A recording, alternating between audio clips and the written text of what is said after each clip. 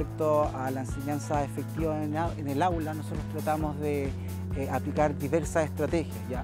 Nosotros sabemos que dentro de nuestro, de nuestro curso, que son poquitos niños, gracias a Dios, podemos aplicar distintas estrategias, ya que hay niños que tienen eh, diversos y distintos estilos de aprendizaje.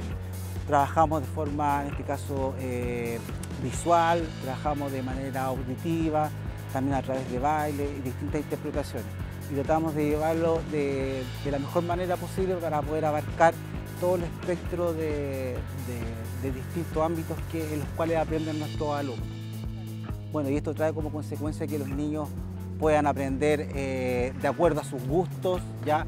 y de acuerdo a lo que principalmente a ellos les llama mayor o poderosamente la atención. Por eso se elige un foco determinado para cada alumno y, tratamos de trabajar de manera individual con cada uno de ellos. Por eso estamos cambiando Peñaflor.